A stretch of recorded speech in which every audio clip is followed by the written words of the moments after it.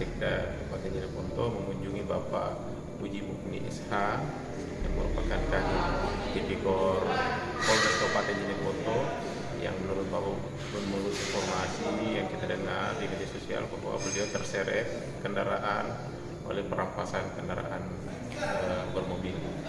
E, kemudian pada malam hari ini juga Bapak Bupati Jeneponto mengapresiasi langkah patriotik yang dilakukan oleh Bapak e, Puji ini dan dianggap sebagai pahlawan yang membela masyarakat di tengah masyarakat.